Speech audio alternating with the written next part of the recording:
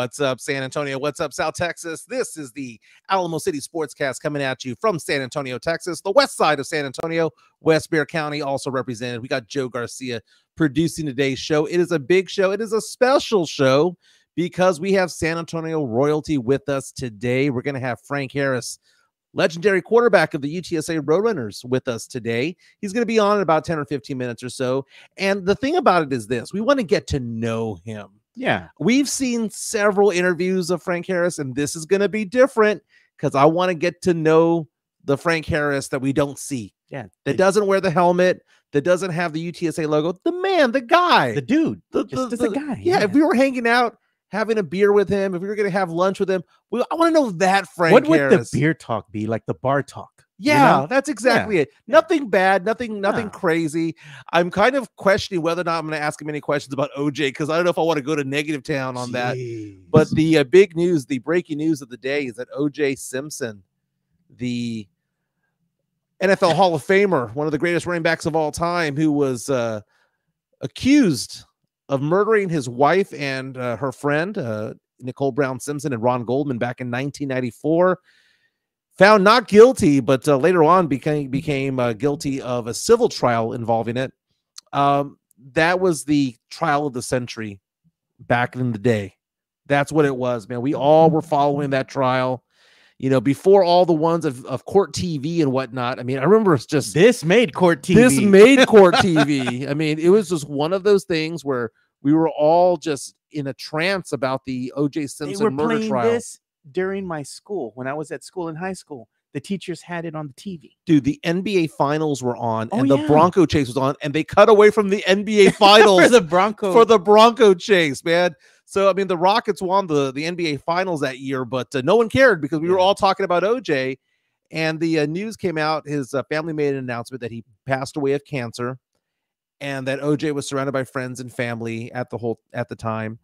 And you know, we're gonna get into OJ. We're gonna talk to Frank Harris of uh, UTSA Roadrunners. Talk about the Spurs. They played the JV squad last night. Jeez, dude. I I saw. Remember the movie Major League? Okay. Who the heck are these guys? I'm taking a look at the box score and I'm like, I don't even recognize four or five of these names. I didn't recognize a couple names myself. I'm not gonna lie, dude. I saw somebody come out on the court and I was like, where the fuck did this dude come from, man? You know, I'm just like, oh Yeah, my god. yeah. Sorry for the cursing. Yeah, we should go ahead and put a dollar. yeah, jar. you know what? We're gonna we're gonna do that because that's one of the things that We're gonna stop. talking about. We're gonna stop cursing around here, and I fall into that trap every once in a while. Uh, by the way, that means cursing in English and Spanish, Joe. Don't try to slip one by me. I'm not. I'm not because I know good. those words. I know I've those good. words. Uh, but uh, yeah, it, it's kind of difficult to talk about OJ Simpson because are we going to talk about like we? You always ask the question, what is the the the first the first line of your obituary going to be? Yeah, dude, that's tough for him. Because for him, he's an all time great running back, but he's also one of the most hated people in America the past thirty years. yeah, And uh, you know that uh, murder happened on June twelfth, nineteen ninety four, of Nicole Brown Simpson and Ron Goldman. I think that OJ kind of assumed that something was going on between the two, and uh, he was accused of killing them not with a gun, not with his hands, but with a knife. yeah. And then you had the trial of the century with the found glove and and Kato Kaelin in the back, Johnnie Cochran, Johnnie Cochran, Marcia Clark. These were all big names. even uh, the Kardashians' dad was part of this. Exactly. He was Uh, a lawyer. yeah, he was one of the lawyers for OJ Yeah. Simpson. So this was before the age of DNA. Oh man, Because if this murder happened in the year 2024 or even in the year 2004, he would have been convicted in a heartbeat. oh no doubt, dude. But the the the racial overtones of all this was that you find that even in a open and shut case, it kind of showed that there were police officers there in the LAPD that were shady or who had had a history of shady activities, yeah. shady behavior.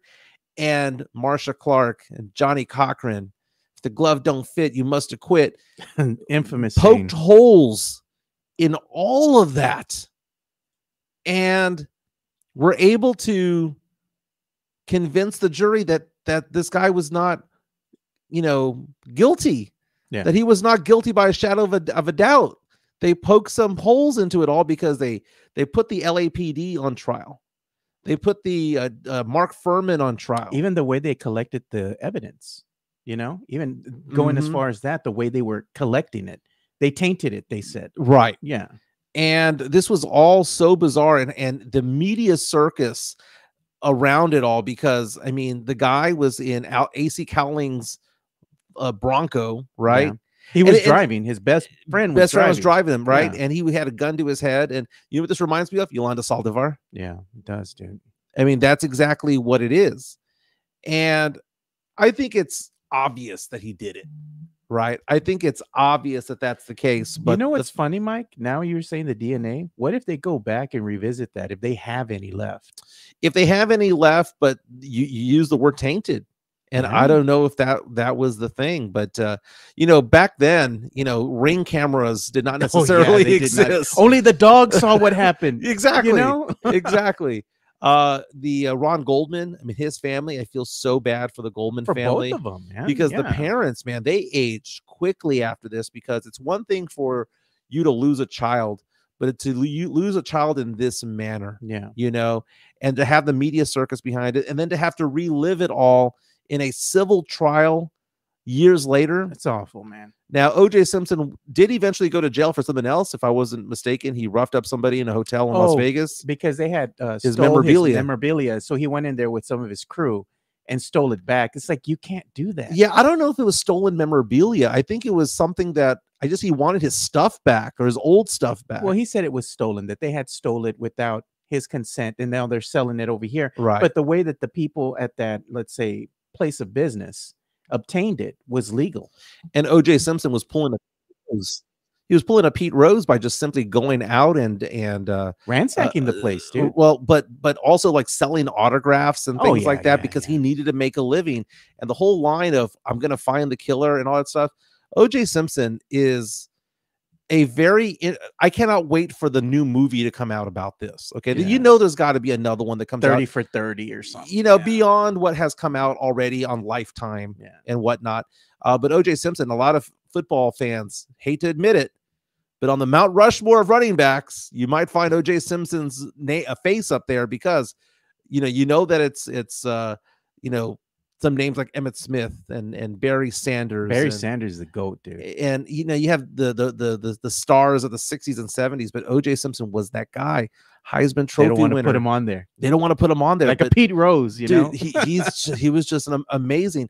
And I told my daughter this morning, I said, Gabby, how do you feel knowing that uh, OJ Simpson was one of your favorite actors growing up because he was so good in The Naked Gun. yeah, he was He was dude. so good in that movie. the Hertz commercial. the Hertz commercials of him hurtling through. You know, and that was the interesting thing about OJ Simpson was the fact that he was also the African American celebrity that seemed to be embraced by everybody. He was transcendent. in a time when it didn't happen. I think it's Magic Johnson and OJ Simpson that were the two that were that were like that that were accepted yeah. and he seemed to be very likable. He was a good-looking man, um, but you know he was also a very troubled man as well. Oh, And and then again, the accusation of June twelfth, nineteen ninety four, of uh, him being accused of killing his And wife. We do have Frank Harris yeah. on standby. uh, but uh, it's it's absolutely um, you know what a what a crazy story this was, and it uh, kind of came to an end last night. Uh, the family of OJ Simpson saying that he has died at the age of 76 from cancer. Uh, we'll talk more about OJ. We'll talk more about the Spurs. Again, the Spurs playing the JV squad last night. Thunder. but we're super excited because we have a special guest today. We're going to bring him on right now. you want to introduce I see him, San Antonio royalty, Frank Harris. What's going on, my What's man? up, How have you Frank? been, man? Welcome to the Alamo City Sportscast. How's it going? Thank y'all for having me. Hey, man, we're having a great time over here, and we want this to be a fun interview. Okay, so we're not going to Yeah. inundate you with OJ Simpson talk because that's of a that. different thing. That that's not what we're doing here. But we're glad to have you on here because there's so much going on. And I was having this conversation with Joe about you the other day. I was like, you know what? We see so many interviews of Frank Harris over the years, you know, from you know radio with Sports Star and radio with you know, Ticket 760 and all the TV stations locally. But I kind of feel like I want to know more about Frank Harris, the person, you know, what's going on. And and right now, uh, now that you are uh, with that job at UTSA and and and working, what what's the title again? It's like vice president of uh, of of what? So actually, it was actually a third party uh, for the university, but I actually resigned from that job. Oh, you did? Okay, Yep. cool. So what are you up to these days? That's a great question. I'm trying to figure it out. I got a tee time at three o'clock. Um, so, I'll be doing that. nice. Where are you teeing off Uh, at? So all my buddies, you know, I went to high school at Church Clemens, so we're Yeah. gonna head back over there and go to Olympia. Oh, dude, I love Olympia Hills, man. I've played Yeah. that uh, several times. Uh, so I didn't realize you were big into golfing, man. The the Masters uh, kicking off right now. Right now, uh, we got three players at uh, minus one: Taylor Moore, uh, Danny Willett, and Erik van Rooyen. Right now, currently lead the Masters, but again, only about 15 people have teed off so far. Do you have a favorite golfer right now that you follow on the PGA? Oh man, I kind of just watched. Um, I was at the uh, the Open, the Valero Open Yeah. on Saturday and Sunday, so that was pretty cool to see.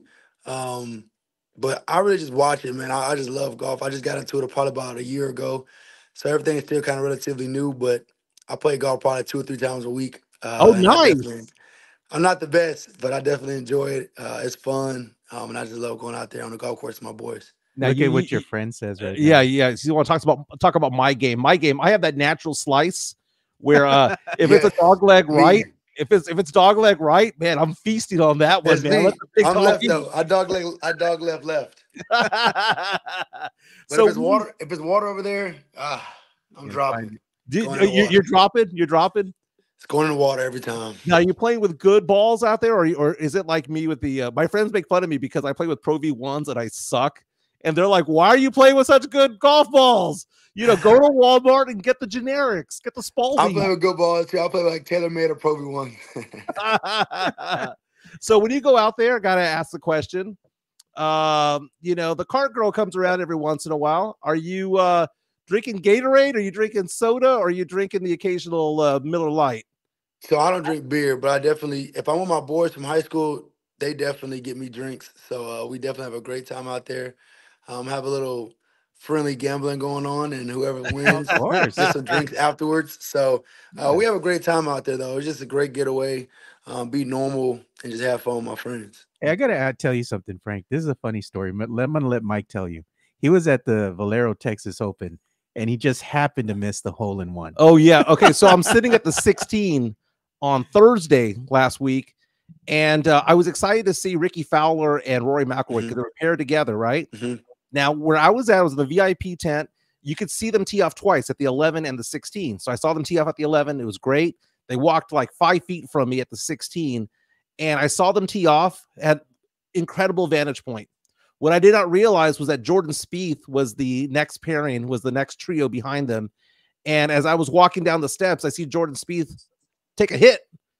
And then all of a sudden, I see the crowd just go crazy. So I didn't watch, I didn't see a hole in one. I heard a hole in one and it pissed me off because I was at the 16 for five and a half hours watching these guys go up and Perfect down. vantage point. Perfect vantage point. It was so brutal. I feel That I is felt like I funny. missed out, man. I didn't see any hole in ones. I, everybody was cheering, but I guess I was talking the whole time. I didn't see any good things. So you know, uh, you're out there at the. Uh, you, you're going to go golf today at Olympia Hills. That that's amazing. And you, you say you golf two or three times. Do you play any other sports? I mean, what other things do you do to kind of, uh, you know, just kind of burn some burn some calories, if you will? Burn calories besides working out. Yeah.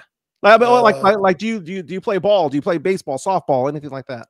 Yeah, you do not want to see me hit a baseball. Um, I've never played in my life. It's so bad, so I would never even do that to myself. Um, I'll play basketball here and there, um, but really just golf. Um, basketball too much to my body, my knees, and I'm getting a little older, my back and stuff. But uh, Yeah. you know, golf, like I said, um, We golf all the time. Uh, and it's just, you know, on Mondays we had our, our off days during the uh, season. So every Monday I had to go out on the golf course, uh, just kind of get away from everything and uh, go have a good time. I'd like to see you and Frank go at it. Dude. Let's see where that slice is gonna go. exactly. Uh, I think Frank Harris can outrun me, though. Okay, Oh, I, I no think he doubt. can outrun me. But uh, you know, this is the first year that you're not going to be out out there playing ball for a while, man. It, it- it's is your body telling you that you should, you know, be out there, or or is it one of those things where you're just trying to tell yourself, hey, man, that part of my life is over. Uh, what's it like right now, knowing that there's no season up ahead? Definitely not tell my body to go out there. I don't. Sounds bad, but I don't miss it. Um, I th- I feel like I put all my time and effort into, you know, the football. Um, I just had a memory pop up today. A, a year ago today, I had my fourth surgery of the year. Um, so last year during the springtime was terrible for me. I had a surgery in January, February, got infected in March, got rushed to the hospital, had emergency surgery in March. They said the infection didn't clear. I might, they might have to amputate my leg off. And then Whoa. had another surgery in April, which was a year ago today. So, you know, last season I wasn't even going to play that year because of all the injuries that I've been through. And, you know, my mental was all messed up. And I was telling coach that I didn't even want to play. Um, you know, it was real life stuff going on with my leg. So I was fortunate enough to go out there and play last year. Um, so to get back to a year um, to today, um, I definitely don't miss it. Uh, I, I, definitely enjoy my life now. Just being a normal person. Um, you know, my life is so much more than just football. And uh, I finally realized that the older that I got, and I'm just blessed to be able to do, you know, play golf with my buddies and just have a good time, be a normal person.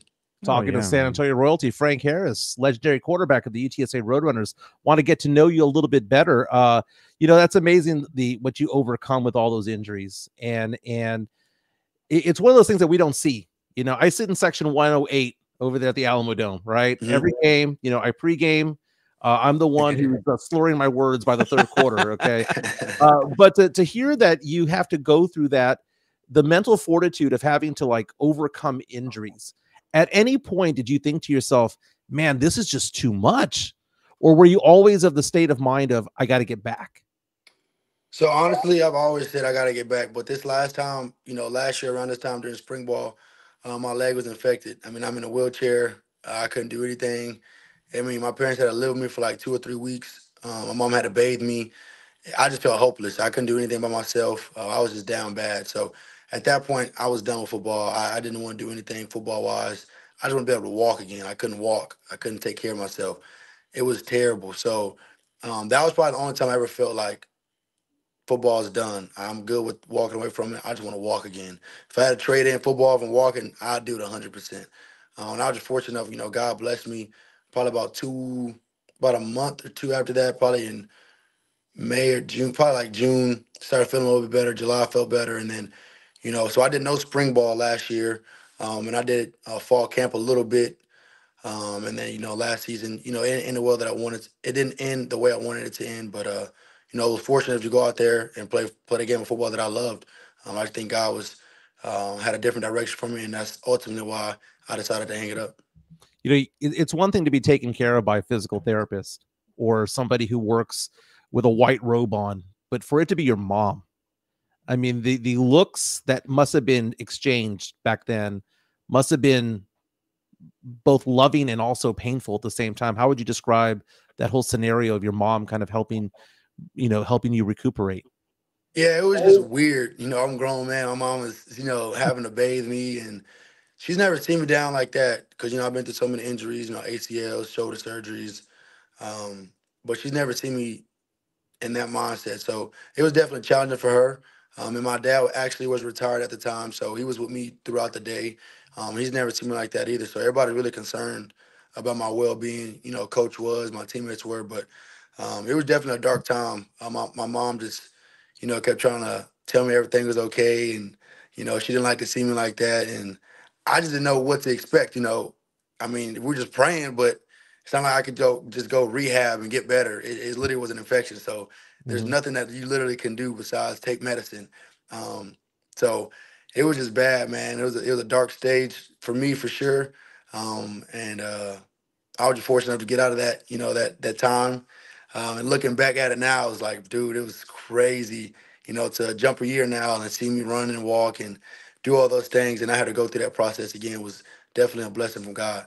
We have a question coming in from our YouTube stream uh, from D'Lo. He says, "Hey Frank, uh, that he tore his ACLs as well, had surgery for both. Wanted to know how you're feeling now and how did those injuries affect your playing style?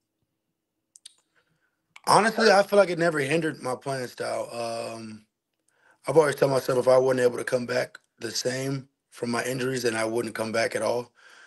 And I always worked that way, you know, in the training room and in my recovery process, in my rehab, to to to know that I'm gonna make sure that I do everything in this process to when I get to go back out on the football field, I'm not timid or I'm not looking over my shoulder. So uh, I definitely attacked the rehab process very hard um, because I knew I wanted to come back and play football again. I wasn't going to let, you know, two ACL injuries affect my career, uh, if that makes sense. Uh, one of our other listeners, uh, Chris Bettis, reaches out and says, leg off. I didn't know it was that bad. Damn. Uh, that was a surprise to me when you said that, that you could have lost a leg. When you are sitting there talking to these medical professionals and you hear those, those words that even it's a even if it's a remote possibility, just 2%, 5%, 10%, did they even give you a percentage as to the odds of something like that happening? Honestly, I don't really remember them saying a percentage. I just remember my mom saying, if your leg keeps bothering you, we're gonna take you to the hospital. And I was like, all right, whatever. So we went to the hospital like two in the morning. They drew some blood. I mean, the blood was disgustingly. It was like a brownish, smelled terrible. And that's when knew something was really wrong. Um, and they were like, okay, we're gonna have to have you know emergency surgery right now, um, and you know we might have to put a catheter in you, or you know you might have to just be on pills um, for for the uh, for the meds. Um, and I was like, honestly, whatever it takes, you know, I just don't do not want my leg to get taken off. I don't even like the thought of you even saying that that's a possibility. You know, if this infection doesn't clear, so it definitely got real. You know, that night, and you know, after the surgery, and I just felt like I said, hopeless. Couldn't walk. Um, using a walker to try to get around the hospital. Um, I couldn't sleep. It, it, was just bad. Like my knee, my knee was just so swollen up, um, with just all type of stuff. And like I said, that's just a process that, that I've been through. And a lot of people didn't know that. Um, so you know, when I went out there and played against uh, Houston, and I had a terrible game, uh, you know, I had three picks. Uh, everybody was trying to get rid of me already, and that's that's what coach was trying to say when he was uh he had my back and was like, y'all don't even know what he's been through these last couple months because I didn't know spring ball. Um, I went in and I did fall camp just a little bit just because I couldn't get thrown into the fire uh, getting all the reps that I'm normally getting.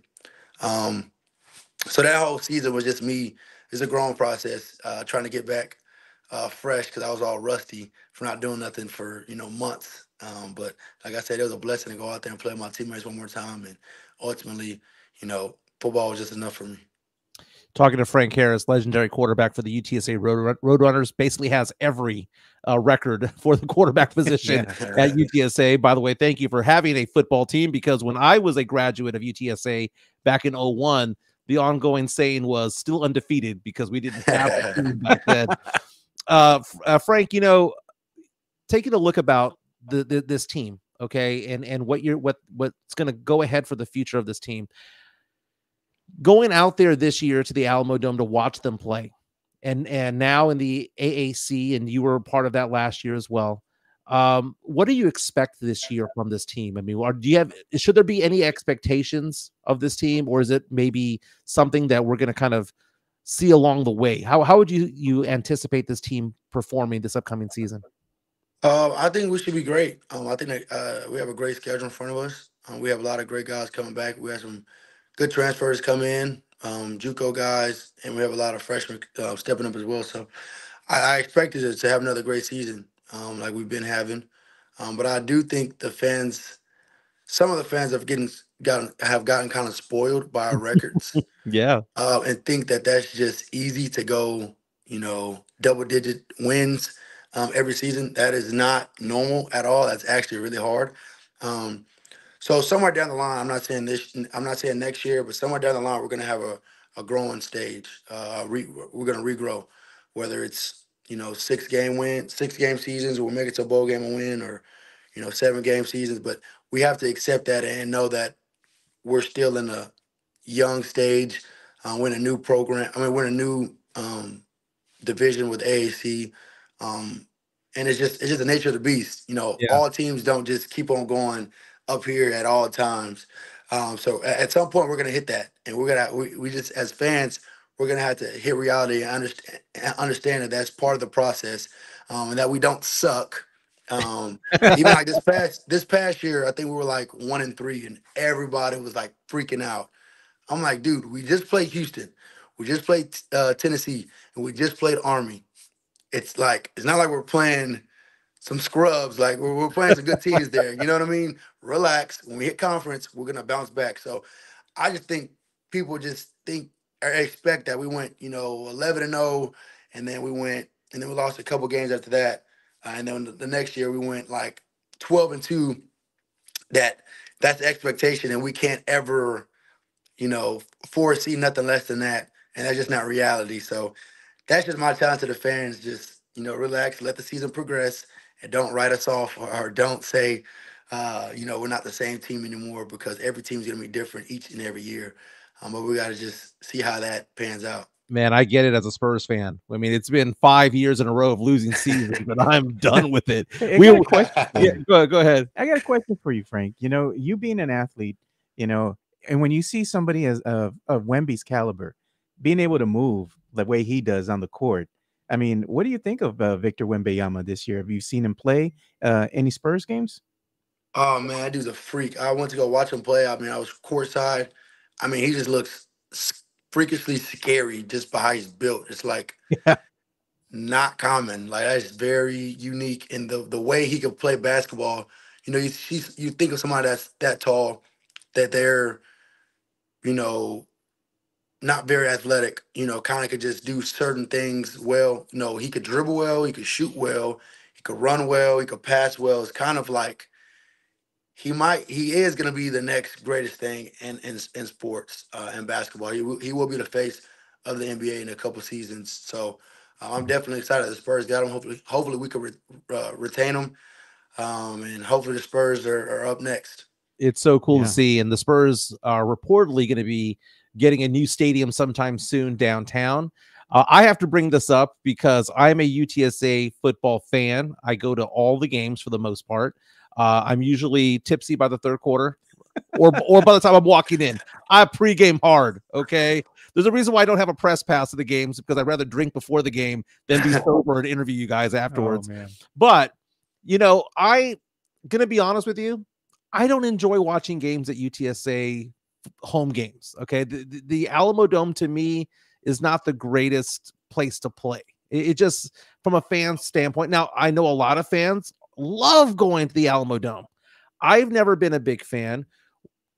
Is it cavernous? be- Is it because of the way it's built? or- Yeah, I, I I hope one day UTSA gets its own stadium on campus, a 35, 40,000 seat stadium Yeah. somewhere on campus. you want it to be more intimate. but more Yeah. intimate, right? But I got to ask you, Frank. You know, you you know, you don't have to be PC about it. Did you like playing at the Alamo Dome? And in the future, do you think that UTSA should be playing there, or do you think that they should be somewhere closer to campus? Um, I think the Alamo Dome is just perfect because, like I said, it's already a dome. Uh, 72 degrees uh, doesn't affect our, our game plan, whether it's raining outside, whether it's hot outside, uh, nothing like that.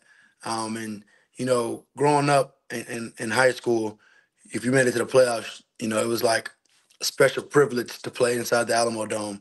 Yeah. So it was just pretty cool and unique to, just to play inside the dome. And uh, I know for for a fact, you know, the coaches love it. Um, at UTSA, and me and my teammates love it as well. So I don't think we're gonna ever get a stadium on campus. Um, I don't know where it'd even be at, um, but we definitely love the venue at, uh, at the Alamo Dome, um, and we appreciate that it's always 72 degrees. Joe, Let me ask you a question. Joe, Frank. Joe, you know we have the Jeremy Sochan apology form. Yeah. I need to have the Alamo Dome apology, form. apology form. I'll I'll back off. Well, well, I'm gonna.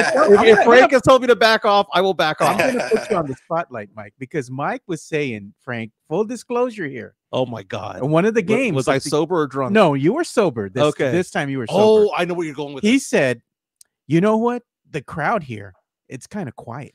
okay first of all first of all the okay so so from from 20 from the 20 yard line to the end zone on both sides i think the i think the crowd does a fantastic job. For some reason between the 20 and 20 it's kind of quiet it's kind of corporate for me. I, I i don't know man. I think that the student section does a fantastic job on both ends of the of the of the field. It's for some reason that 20 to 20 hmm, we need to we need to get them amped up man it's a college football game this is a big league game You know, you were you had the video, and he's like, "See, it's quiet So in like, here. what's going on It's quiet in here." People I'm are like, doing their taxes over here. Scream, shout. Do I need to get you guys drinks? Let's make this happen. But as the game went on, the crowd got more livelier, dude. They I don't do. know where, where do you sit at? Wh- where do I sit? I sit at uh, around the 10 yard line. Okay. So it's loud where I'm By at. our students, by by uh, the UTSA home side. Uh, UTSA home side, but uh, 10 yard line. Um, It- It's it's pretty good over there. It's kind of the middle of the field. The, the more expensive tickets, if you will, the 30 to 30. yeah, that's 30 why. 30. Is that probably why? Yeah, that's exactly why. Who's gonna? Uh, yeah, that's exactly the reasoning. Wait, and I'm not I'm not Those are higher ups. They're not gonna be screaming. I, I, I'm not going to expect them to be like an SEC crowd or a Oh. Big 12 crowd because I don't, you know, UTSA football is still so new, right? It's still so new to the city. It's only been what 13, 14, 15 years or so. It's still relatively new. And I kind of feel like, you know, the fans need to kind of grow up with it and be part of it and be more diehard about it. And I think it's getting better as the years go on. It's better today than it was five years ago. And five years ago was better than it was 10 years ago. Uh, but I got to see that crowd out there because aside from from from um Spurs basketball, the Spurs basketball, UTSA football should be equals in my opinion. My opinion. But uh, we're talking. We're joined by Frank Harris of UTSA. He's a UTSA legend, also a Clemens. It's a Buffalo, right? The Clemens Buffaloes. It is. Uh, I'm a high school basketball official, so I've done Clemens games before. Man, they they Okay. can play out there. So here's the thing: we we like talking about pop culture here. Okay, uh, obviously you've played football your entire life. I gotta know what is your favorite football movie of all time? Favorite football movie would probably have to be. Goodness, there's a lot of them. You got like. Oh, you got The Friday Night? Lights, of course. Yeah. You got. Um, is it Pony Express? Isn't that isn't that a Yeah. movie? Pony Express. I'll make sure I said it right. You got like Gridiron Gang. You got like a lot. You got you got a lot of them. I, I probably couldn't pick just one of them. Um, Meet the Titans. I don't Rudy? know. It's, it's, it's a lot of them. I remember remember the Titans. I said Meet the Titans. Remember the Titans. Yeah, Uh, I don't know. It- it's so many of them. Um, especially I like the the, the real true the, the true ones. yeah, because you're, Um, you're talking about movies that are like very serious in Yeah, nature. Like, serious. We're remember the remember the comedies. Titans, which I saw for the first time last year. Yeah. I thought it was a good movie. Um, what? That's the first I've seen it was last year. Oh my goodness, Oh. Frank, he- Mike Oh, is lived my in a bubble, man. He's never seen a lot of movies. Yeah, I couldn't get through Oppenheimer. Oppenheimer was one of the most boring movies I've I don't ever know what seen that in my is. life. That that won Best Picture this year. I will let it you know. I, I will. I will let you know. It is boring. it is boring, but everyone loves it. Everyone Well, loves it. I have an attention span of like a five year old, so if it's not good off the jump street, then uh, I'm definitely not watching it. Y'all would get along perfect, Mike. Me and Frank, we're gonna go golf, baby. I'm all go over the place. Man, I, I'll get the tee. I'll, I'll I'll pay the green fees over at Olympia Hills, man. Just have a few drinks and talk movies with you. It would, would be like, man, we hated this movie. Yeah. Uh, now, what about like like Waterboy? Waterboy is actually good. It's a funny movie. I like Waterboy. It's Okay. good. The replacements, the replacements is pretty funny with Keanu Reeves. Never seen it. Sorry. You never seen that one? That one was Oh, okay. It, it that was was it was about dude. scab football players in the NFL. Yeah, yeah. the fictional NFL team. It was it was actually pretty good. But uh, we're joined by Frank Harris. We we talk about you know obviously a lot of pop culture references here. Um, I I always find it interesting when I find out what somebody's celebrity crush was when they were growing up. Okay, so if you go back in time and you think, man, this was the celebrity that kind of, you know, made me googly eyed when I was younger, who would that be? So I'm the Oh. youngest of four. My oldest brother is 35. Yeah, So I kind of just whatever he kind of whoever he thought looked good, I, I thought looked good kind of thing. yeah, Uh, so it was at the time when um, ATL came out and like Stomp the Yard, and uh, it's always Lauren London and uh, Meagan Good. That was like Nice. Okay, nice. that was like the two uh, like growing up. That was the two cr- biggest crushes. Everybody, everybody. It wasn't even just me. Everybody I grew up with was like, dude, those are the baddest girls in the world right now. Nice. Now, growing up, uh, did you have posters on the wall growing up of like athletes or or anything like that? I did growing up back in the day. I mean, I'll show you my Yes. age. I had Akeem Olajuwon and David Robinson, right? Uh, who who are the athletes that you had on the wall right now, and who would you say are the ones that, man, if you had some hard-earned money to go spend to go watch a, an athlete play, not named Victor Wembanyama, who would it be? So of course, you know, I had uh I was big into to, to wrestling, of course, as a little kid. Nice. So I had like a John Cena poster. I had um LeBron James, Michael Vick.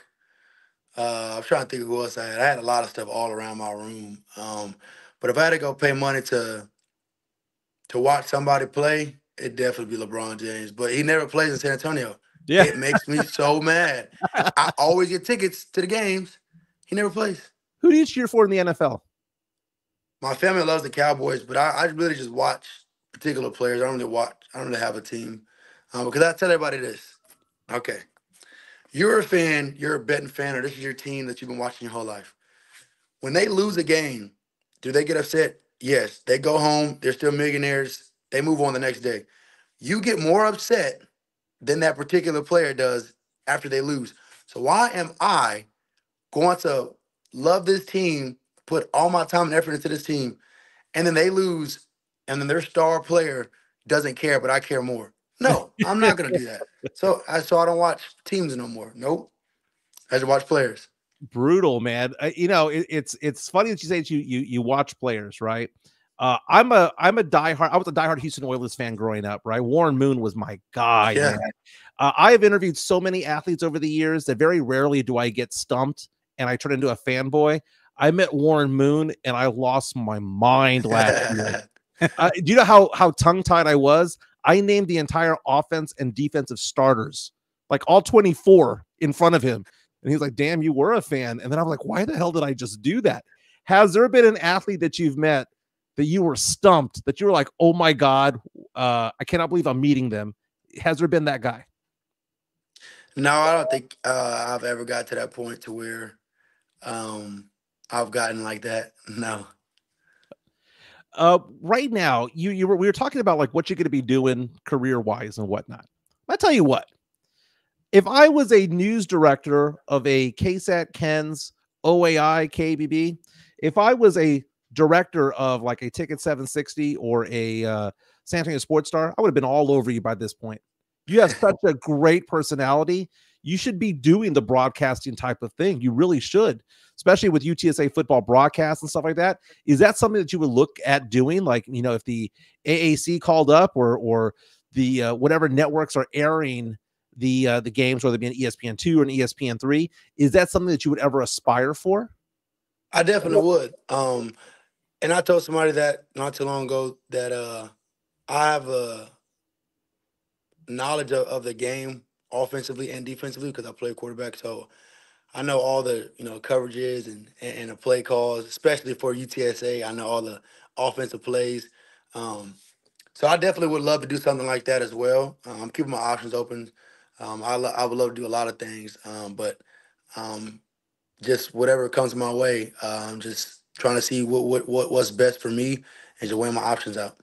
Have he's you a s- great interview, by the He- way. he's so, great. So like chill, man. so chill and, and and beyond that you have a personality Yeah. you have a personality that, that that's what i wanted to see today Appreciate so when i heard your name when when uh you know you were brought to, to my attention i was like that's exactly what i want to be because like i said i was a sports producer a news producer for so long in the city i would have been all over you babe i would have been like dude let's Hey, make this we have a question to ask right now. One of our, our listeners, our Yeah. viewers here, is saying they want to ask you, MJ or LeBron? Who do you like more?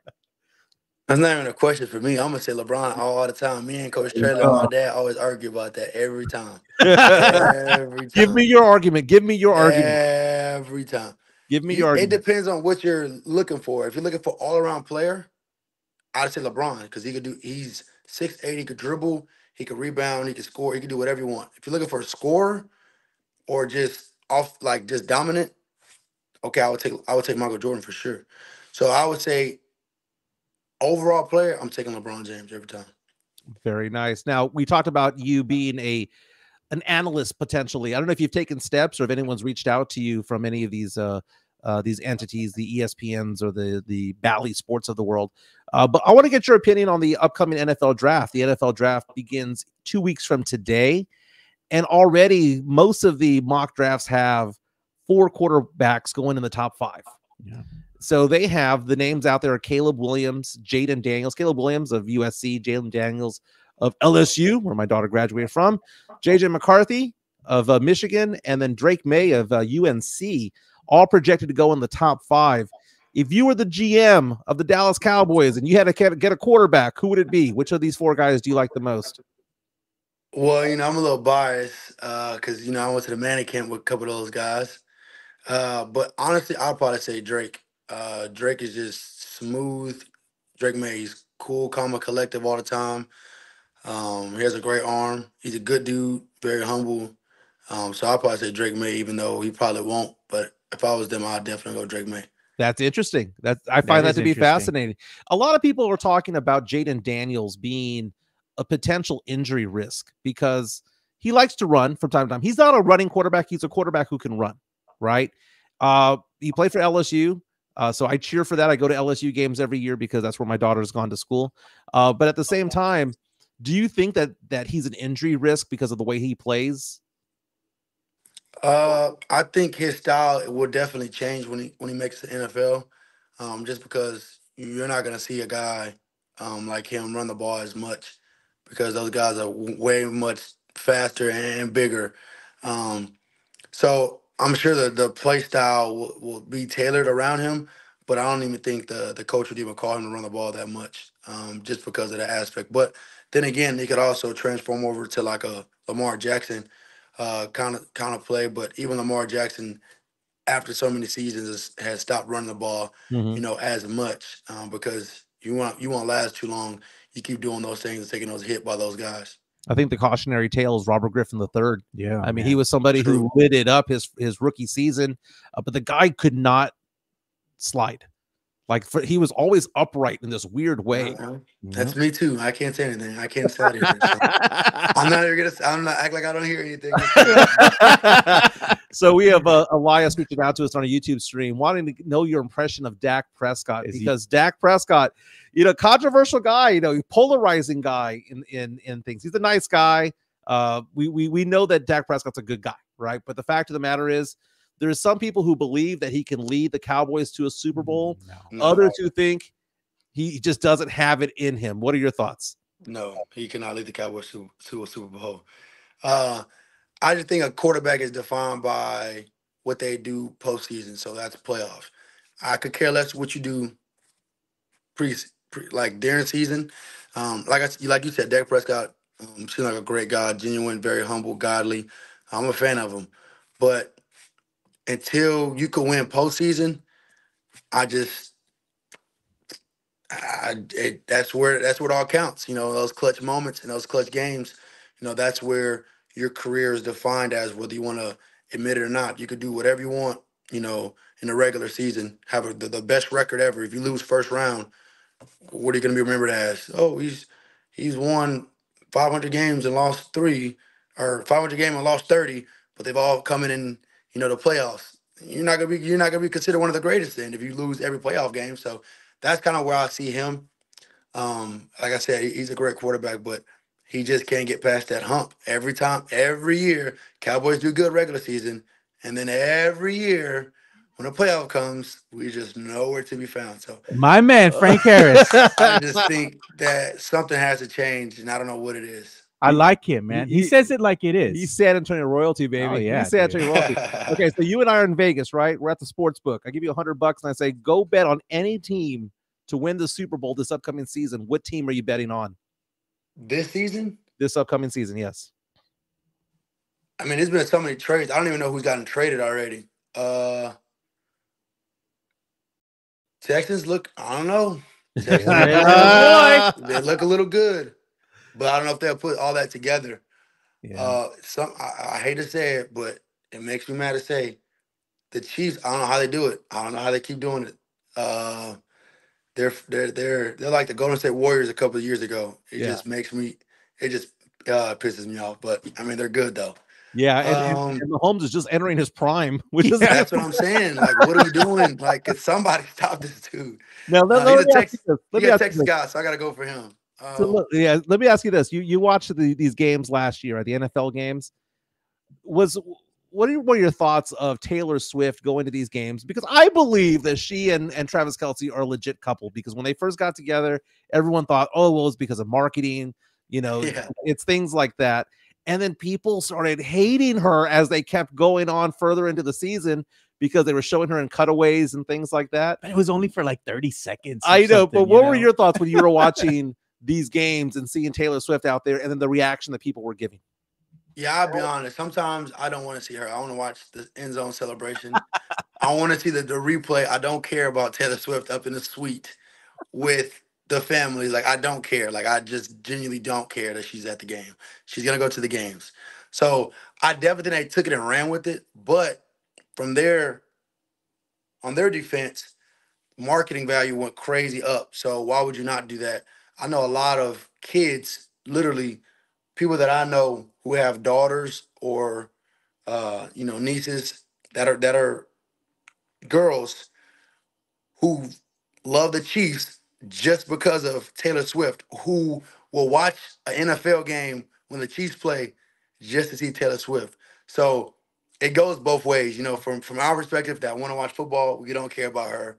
But from the NFL side, that was great marketing. Um, it brought a lot of attention. Um, the streams went up, I'm, I'm pretty sure.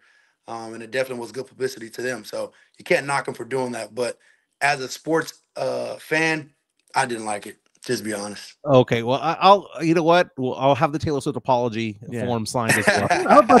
Because I'm a Taylor Swift guy, man. I, I, I love her. Oh, of course I know. I, am going to take my daughter to go see her yeah. in uh in New Orleans. You're going to drop three grand on the tickets? Two, three grand, fifteen hundred each, man. Jeez. Gotta do it. Gotta do it. Hey, Frank, let's talk about some music. All right give me a musician. I don't know if you have Spotify or Pandora, whatever you you you do for streaming services, but what's the one musician you listen to that people would be surprised that you listen to? Yeah, what's in his playlist? Well, let me tell you this: May 10th and 11th, I'll be at the Alamodome to watch Luke Combs because that's my favorite country artist. Nice. Really? Wow. Dude, I, I can sing every I know every Luke Combs song. Uh, I love country. Um, but Luke Combs, that dude is just he seems like a very cool guy. Uh, I like everything about him, and uh, his music is just pretty. It's just it's just very good. So um, I would probably say a lot of people are surprised that I like country, but I grew up country. You know, I grew up with horses. Um, every Thursday during the football season, um, I go dove hunting back in Schertz with my with my buddies um, every Thursday, and you know, finally, coach found that I found out that I did that, and uh, he wasn't a fan of it. He didn't want something happening to my shoulder. Um, but I go hunting you know, I went hunting this past deer season, um, and I go fishing. So um, a lot of people don't know that about me. That I, I grew up country. I go to rodeos. Uh, I do all those things. Like I said, grew up with two horses, um, so we had to take care of them. Um, so definitely, uh, I'm very unique um, in that sense. Um, but yeah, I'm pretty country. You got a cowboy hat too? Oh, I have a cow? Yes, I have a cowboy yeah. hat. All right, uh, cowboy you, boots, cowboy hat, all had a hat. Are you more San Antonio rodeo or are you more fiesta? rodeo. I'm not really big. I'm not gonna say I'm not big into Fiesta. I don't know much about Fiesta. Dad, don't get me wrong. I will be there having a great time. See, I love this. I love this guy. I love this guy. I don't know much about it. I'm gonna have my medals on. I'm gonna be, you know, Fiesta. Yeah, like having a great time. I'm. You gonna be jamming? Y'all see me there? Y'all didn't see me there. You be jamming out to Tejano? No, I don't. But if you put it on, I might. if I got some drinks to me, I might start dancing. I know this thing. I know. I don't know what they say. I don't know nothing going on. But listen, oh, he, he, he's just vibes are crazy though. I'm always I'm a big vibe guy. You know, if we having a good time, if everybody else is dancing, I might get out there start dancing too. I, I don't know, but you I'm from San Antonio, so music, that's just, can be dancing. Hey man, if hips aren't lying on the stage, man, that, that's good, dude. I mean you know, what's the old saying? If the beat's all right, she'll dance all night. I mean, that's the thing. I mean, I don't, I don't like certain music. Oh, come on, you do not like Tejano, dude. Man. I've danced Tejano. if there's, if there's a, you know, nice booty out there doing it and and and all that stuff, I will go in that direction. I will oh, dance whatever I need to dance. True, to true story, Frank. I gotta tell you this because we make fun of my boy Mike all the time because he comes up with these tall tales, right? and he says that he's one and zero in Fiesta fights. Yes, dude. I am. I am. I, I got into one fight at Fiesta at Oyster Bake 15 years ago, and I won that fight. Do you believe him? Do you think this is true or false, Frank? Now let me tell you the let me tell you the backstory. Yeah, what's the backstory? I was married at the time, and this guy went up to my wife and groped her. Just like just grabbed her in the butt and was trying to feel her up, and she was all startled and all that stuff. And uh, literally, I was I had a beer, and I literally said, "Hold my beer," and I went and I just clobbered the guy. Well, I'll be honest with you. If I was with you and that happened, I'd probably would have been one on a fight too, because I would probably hit him too. Yeah. See, one and zero. He believes you. One and zero. I believe that. I believe that. And I was. I, I, don't like that. And I was yeah. one and one in, in, in middle school fights. So two and one for career. two and one in career. Hey, speaking of fighting, Uh, Mike Oh. Mike Tyson, uh, Jake Paul fighting at the uh, at Jerry World this summer. Do you care about that fight at all? I'm actually going to it. But I heard there's a lot of I heard there's a lot of rules though, like that Yeah. favor Jake Paul. Is that true? That is true. Because it's That's an not cool. exhibition fight. So there's going to be certain things they can't do. And I believe that the rounds, they're going to be shorter as far as the minutes go. So they're going to be less. Well, hopefully Mike Tyson wins. I, I like Mike Tyson, but Dude, that'd be I don't know what the rules are. That'd be brutal. Talking to Frank Harris, San Antonio legend. People are asking the question. Like several people have asked this question about your favorite restaurants in town. It's like multiple people have said that in the threads today. Yeah. Like, what's your favorite place like, to like, go like to? you, what's what? Give me two or three restaurants. And you're like, man, I will go that place anytime, any day. yeah. Uh, it's gonna sound bougie, uh, but Blue Prime. I mean, that's my place. I love going there. Uh, I had my birthday dinner there. Um, pretty pricey. Not gonna lie, pretty pricey. Yeah. Uh, I love there, and then probably about once a month, I go to uh, J. Alexander. I give me another steak there. I love the Mhm. steaks, J. Alexander. And then uh, my guy Danny at uh, Box Street um, over here by La Gatera. Um, it's a great vibe in there if you've never been. Um, it's a brunch place, but I mean, it's just a great vibe all around. And uh, I go there. I go to Perry's, the the, the pizza spot. Um, and I'm, I'm everywhere, dude. I, I'm, I'm a regular guy like everybody else. I'm not a high roller or, or big time guy. You probably see me out eating all the time. Yeah. I was at Yard House last night. Um, I'm everywhere. Uh, Let's I let go me put you on the time. spot here, Frank. I want to put you on the spot here because there's a big debate here amongst the San Antonio faithful. Whataburger or Burger Boy? I don't think he's tried Burger Boy. Burger Boy. What is Burger Boy? Oh man, we Uh, gotta uh, keep, we we gotta gotta, take him to Burger Burger Boy. Boy, man. You know, So it- let me okay, listen. This is where I get a lot of heat from too. I'm not a Whataburger fan. I don't like Whataburger. The burgers to me at Whataburger are not good. All right. Now, at nighttime, I'll get a honey butter chicken biscuit for sure. I get a patty melt and I get a barbecue chicken strip sandwich. But if you ever see me eating a burger from Whataburger, something's going on with me. It's not. It's not me. It's not me.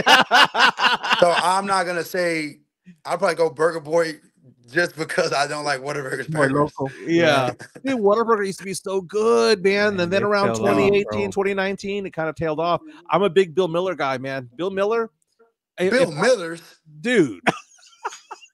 Come out. Dude. What- What's going what's going on? you don't like Bill Miller? For what? Their Well, the I lo- barbecue? I love the breakfast there. I, I the the breakfast, there is Breakfast good. tacos. The fried Bill chicken there is amazing. The barbecue, Oh my eh, it's a it's it's a What's your go-to, Frank? Wait to get tacos? oh well, you know what? I'm not- Tacos, no oh. taco. You go to taquerias for tacos. That, Yeah. that- Oh, okay. Then what, understand. what breakfast are you talking about? oh, dude, the pancakes there are really good. Oh Uh, my goodness. the- He said pa- Bill Well, Miller's pancakes. Yes, they do. They do. Dude. they come got the best man. brownies. They got the, the best pie there. They got the best fried chicken there. The chicken strips got Chicken smaller. at Bill Miller's. Yes. You see you're talking to? You see this? I'm only three shades off, man. On. We're all one and the same. We're all one and the same. Dude, this has been funny. this has exceeded expectations. Yeah, he's I- just a great interview. I, bro. I, I think that people are gonna not like Frank Harris as much because they're gonna realize that he's 70% me. yeah, dude. And I'm so picky. I'm the pickiest person you probably ever meet. I'm like, he's Mike's doppelganger, dude. It's like, It's what? bad. I am, bad. I am the chubby middle-aged Hispanic version of Frank Harris. What's your best chicken spot, Frank? Where do you like your chicken from? Well, I'll be honest with you. I don't. I I I eat, I eat pretty clean, so I don't really eat. Yeah. Um, you know, like Junk I said, if it, yeah, I don't really eat junk food. Yeah. Uh, no more. Um, so I, of course, you can never go wrong with like, uh, Church's, uh, Popeyes, but like I said, I don't really eat too much fried. Yeah, You know, I usually eat more. So like I said, it sounds bad, but I eat a lot of steak. I like steaks. Yeah. Um, so a big steak guy, and then I have meal preps that I eat. Oh, Um, you know, on a daily basis. I'm going to Bob's Chop House for lunch today. I've never been there, so I hope it's pretty good. That the steak Uh, place? Yeah, the at uh, La Cantera, the Rim. Yeah, we need to go. We need to take it to a better steakhouse. Oh, I don't know. I've never been. You might be right about yeah, that. that's the reason why you've never been. It's the reason why you've never been to Bob's. Okay, give me your your your drink of choice. We're at a bar, and I'm like, hey, I'm gonna get uh, this, and uh, my guy over here wants this. What do, what what are you ordering? So this is another. I get knocked for this all the time. I like fruity drinks. I don't want to taste no alcohol. So the sweeter, the better for me. I don't want. If I can taste alcohol, it's too strong. Just give it to my buddy.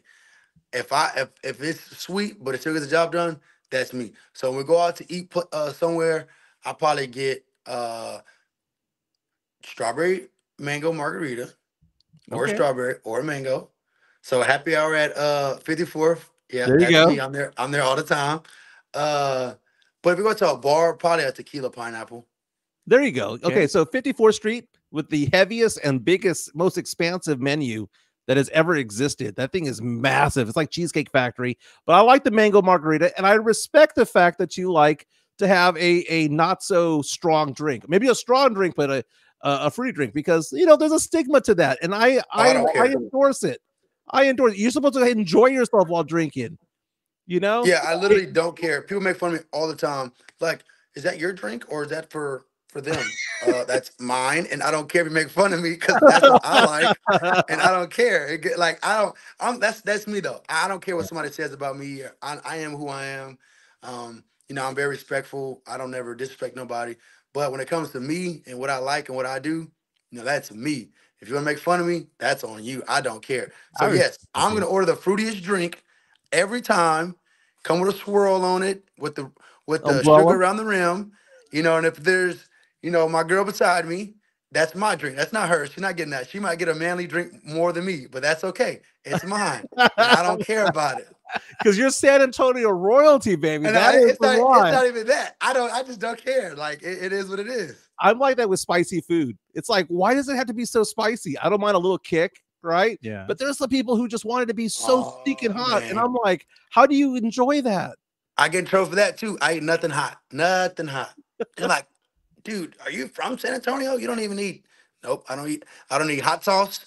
I don't eat hot wings. I don't eat nothing hot. So I get bashed for that all the time too. I get bashed for all type of stuff. Dude, he is 80% Jimenez at this point, He man. is. He, Wow, this is this is crazy. wild. We need to get this in the podcast, man. Just Give, give him an outlet. Just For uh, real. it- it's very therapeutic. People ask You why know- do, why do we do this show? It's therapeutic, man. You know what'd be That's cool, funny. Frank, is to get you on a spaces like Twitter Spaces.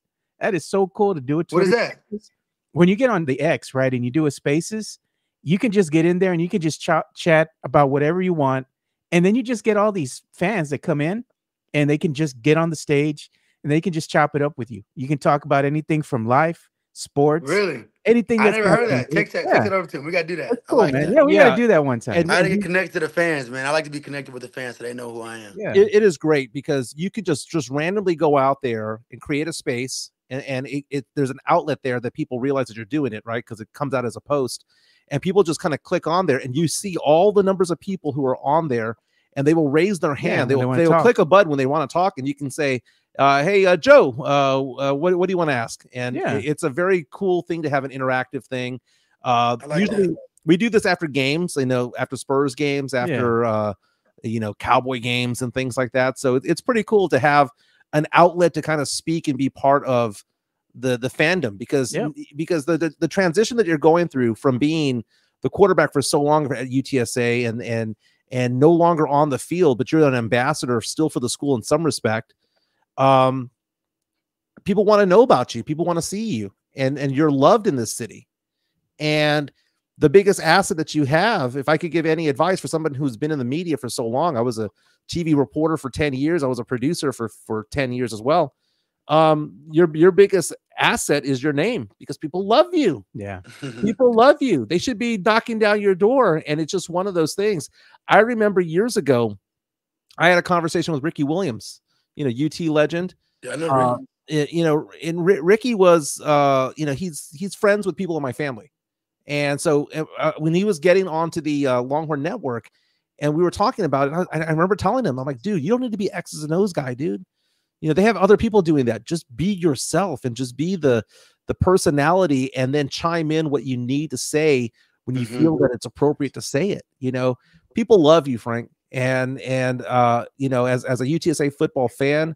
I appreciate all that you did and to learn today about how bad the injuries were, about your um, you know, how the dedication you had for this team. We didn't even get into conversation about Coach Traylor at all. Yeah. do, you, do you still chop it up with him? Do you still talk to him from time to time? That's my dude. I just talked to him uh, yesterday. Uh, he's a great guy.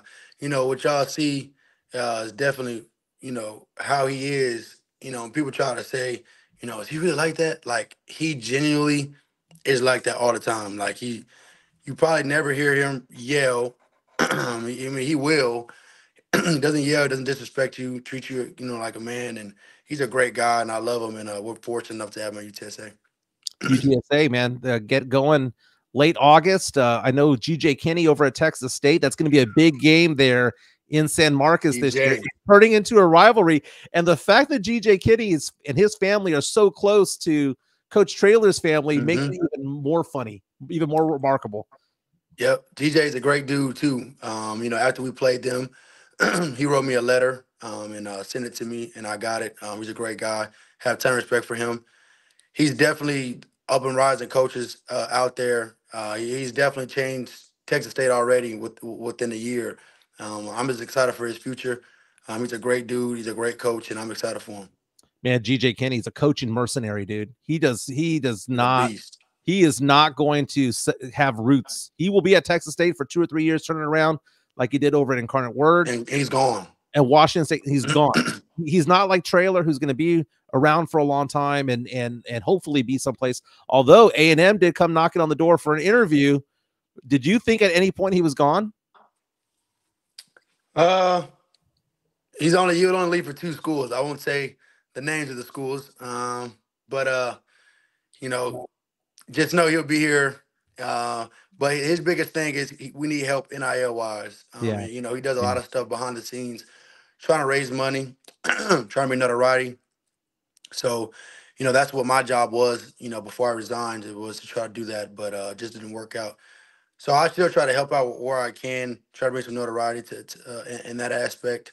Um, you know, NIL wise, that's just the name of the game. Um, today's age, It- it's sad to say, but it is what it is. And you know, we're losing guys to the portal, and if we want to be that team in San Antonio, uh, keep on progressing, you know, we got to pay our players at least a little bit of something. So he does a lot. He's always doing stuff. Um, he never has any free time. I feel bad for the guy. Um, he's always grinding. He loves San Antonio. Um, he loves UTSA as well. But we got to help him out somewhere, some way, somehow. And uh, um, I, I I tell him every time I try to get an opportunity to talk about NIL and you know how we could raise money and what we could do, um, that I will because I want to help out and I want to keep him in San Antonio. Would there ever Yeah. be a coach Harris? Yeah, that's a good question. Oh yeah, my brother coaches out there at uh, Judson Middle School. His last name is Harris. hey, Nah, he's the coach at our old middle school, Coach Harris. I was just talking to him this morning. that's awesome. That is awesome. That is Frank Harris. Thank you so much for being on with Yeah, us thanks, today. of course. I know you're hitting the links. Uh, give an update real fast of the uh, Masters over in Augusta, Georgia. We have a leader, new leader, an American, Bryson DeChambeau. It's currently three under after four holes right now. Uh, lefty Phil Mickelson is one over 19th place. Only 26 golfers have teed off. Uh, so the other 63 will get going at the end of the day. Uh, but uh, you're heading over to Olympia Hills. What do you shoot on. again? What do you shoot again? I mean, I mean, uh, and and and do you play like legit rules, or or are Yeah, you, or do you? Depends Or, on it depends on how many are in me. Uh, if we play legit rules and if we're actually betting or not. If we're just, you know, kind of hitting the ball, you know, if it's in a bunker, I might pull out and move it in the back of it. Um, but if we're playing real rules, then I mean, if, if we're betting, then yeah, for sure you got to play. okay, so I got a two foot, I got a two footer. You gonna let me have it? We're betting. it out. Yeah. If it's two, if it's right there, okay, I'll give you the gimme. But if we're betting, I'll probably tell you just to put out just because we're betting. you might, you might, you might, you might not make it in there. But if we're just playing, you know, we're keeping our own score, you know, that's a gimme. And I'm not, I'm not, I'm not like a, you know, the, I'm one of those guys like, okay, the ball's behind a tree, move the ball. Like, come on, bro. we're not professionals. We're not out here to try to make it to the tour. Just move the ball over to the right. It's still the same distance. It's just not behind the tree. No, that's how I am. I'm very lenient, but you know, I still go by the rules. So that's probably answered your question. One of my tall tales was, uh, oh god, this is years ago, 10, 15 years ago. I went to Silverhorn, and uh, I walked off the course after about six holes because I Yep. hit an animal after every Oh, in every hole. I hit a deer, I hit a turtle, I hit a rabbit, I I hit I, I hit a bird. I mean, I was hitting like That I like- funny. I was just killing Dead-eye, dude. animals. Dude, Silver Horn is so narrow though. We Yeah. just played that. Me and my buddy just played that last week. So trust me, that place is hard. I know. Yeah. I, I got you a golf club of Texas, baby. Make it happen. We'll make it happen. I never, I got never been there before. I, I actually live not too far from there, but uh, I've never been there. So let's Oh, just, let's just set something up for real. Yeah, that, that's my side of town. Hey, Frank, thank you so much for being with Yes, us. You're my, you're my new best friend, man, because I didn't Let's realize how much in common we have. Let's make it happen. I'll bring the Pro V1s. That is Frank Harris, Thanks, Frank. media superstar, future media superstar, because I'm calling it right now. My I'm man. calling it now. Dude, thanks for being with us today, Yes, man. sir. Good Thank you for for having me. All Yes, right, sir. take care. Take care. Later. Dude, we have some good guests coming up because tomorrow we have the Von Erichs. Yeah, we do, man. So we're talking wrestling. We didn't get into wrestling with him. He did mention Frank Harris did mention that he is into uh, uh, wrestling, and uh, I don't know if it's like current wrestlers, uh, but we have uh, Marshall and Ross Von Erich tomorrow. They're going to be in town performing on the twentieth of April. And they're royalty too. They are the Texas royalty. The whole family. Yeah. That's Kevin's kids, The right? Von Erichs, bro. is that Yeah. Kevin's kids? Yeah. Who's the actor that played him in in uh, the Iron Oh, Claw? what's his name? What's his name? Zach. Zac Efron. Zac Efron. Yeah. that was very good, man. I that was a good movie, man. That was a very good movie. Took my nephew to go see it, and he was looking at me going, "Dude, don't tell me that another one's gonna die." And I was like, "Yeah." It's a tragedy. It- he had no idea. You know, my nephew's 21 years old. I grew up with Kerry Von Erich and Kevin and and I all of those too. guys, Mike and all of that. they would always wrestle here in in Texas, uh, and they were always featured on the late night wrestling that used to happen. Uh, if you were a kid back in the '80s, early '90s, you would see this wrestling taking place. You know, late at Mhm. night, even during the day. Um, but you would see a lot of these big names come out there when they were Yeah. first trying to pave their way in, and you would see them, dude, and you were like, "Wow, look at them." I'm gonna I'm gonna bar uh book this. This was our best show ever. He was a great Dude, interview. he was a man. great interview. And like I said, Who would uh, have thought you all had so much in common, dude? KSAT, KENS, OAI, KBB. What the hell are you not doing knocking down this guy's door? He's great. I I mean, he's like 80% Jimenez. Man, God, man. I was like, can I can only imagine when you all get together, you're gonna have like so much in common. You're gonna be like, are we best friends now? like that one from Step Brothers. Step Brothers. Did we just become best friends?